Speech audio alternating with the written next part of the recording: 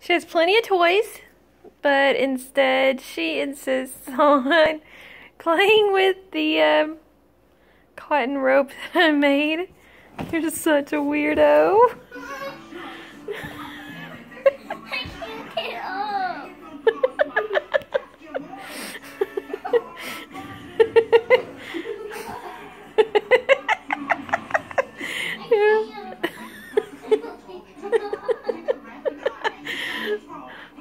Uh, is the floor comfortable? Are you sure? And more Little Mermaid.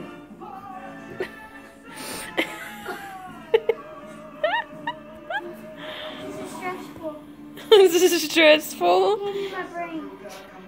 You need the brain to squeeze.